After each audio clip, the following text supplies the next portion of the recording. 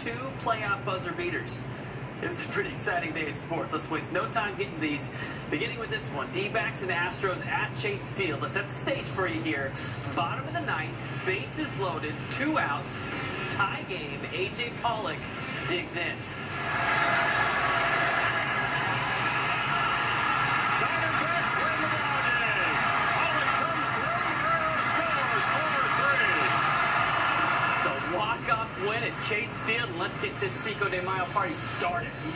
A.J. Pollock, the hero of the night. D-backs win it 4-3, snapping themselves out of a three-game losing streak. Way to go, D-backs. Did you see what happened tonight in Cleveland? Cavs and Raptors tied up at 103. Final seconds. LeBron throws it up. Game over. A kiss off the glass as time expires. Wow. Cavs win at 105 103 with that. Cleveland takes a commanding 3 0 series lead. Similar story with the Celtics and Sixers. Philly down by two with 1.7 on the clock. And it's another buzzer beater. This one ruled a two, not a three, so it's a game tire, not a game winner. But Philly's already starting to celebrate.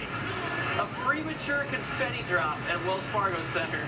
Go ahead and mop that up. A little awkward as we head to overtime. Oh no. Even awkward when Philly ends up losing. Oh no. Celtics win it in OT 101 98. They got too confident. You Just gotta wait before you drop the confetti. You know, you gotta, gotta be trust sure. yourself, Yeah, really. toe was over that three-point line.